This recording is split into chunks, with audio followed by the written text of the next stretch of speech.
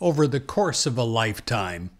All of us, sometime or another, we ask the question, Why was I born? And we ask the question, Why am I here? Well, let us right now take that into prayer. And I pray a personal prayer that you will find your answer. Let us pray. Dear God,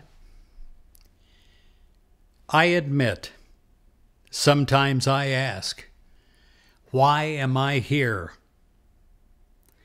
Sometimes I wonder, why was I born? God, I pray that I will have the answers today. I pray that I will have the answers revealed to me as to why I'm here, as to why I was born. Dear God, inspire my soul with your eternal truth. As I rest in the silence of prayer, as I feel your presence in my presence, I know that I am somebody because I am one with the body of Christ. I didn't come here to fit in. I didn't come here to be a carbon copy of another. I didn't come here to just fit in in ways that will make me invisible. I came to be who I am. I didn't come here just to work. I came here to live my dreams. I didn't come here just for stuff. I came here to serve. I didn't come here just by accident. I came here with a purpose that is uniquely mine. I came to know you and to express our connection daily. I know, God, that you value me, and therefore I value myself. I value those things that I haven't yet discovered in myself. And I realize that as you created me in nine months' time, that I'm not done yet being created. I'm not done yet being the best person that I can be.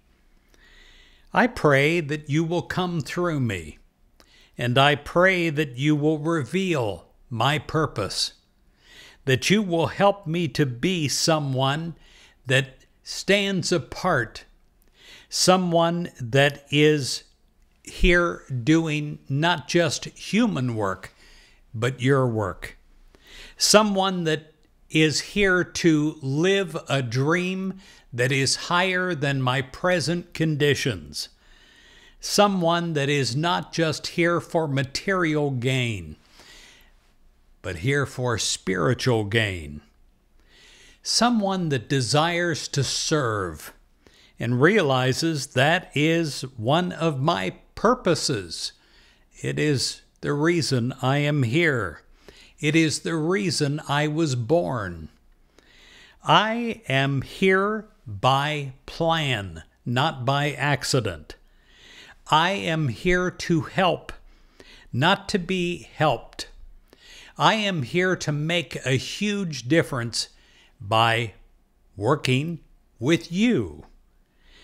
I realize that my purpose is uniquely mine.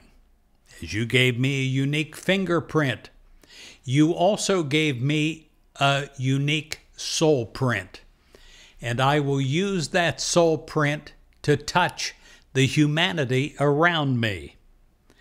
I pray that you and I express as one and that I will completely allow that to happen without any holding back.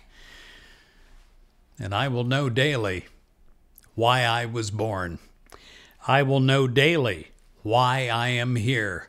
And I will daily give thanks for the privilege and for the incredible, wondrous knowing that this is taking place not outside of me, but in and through me.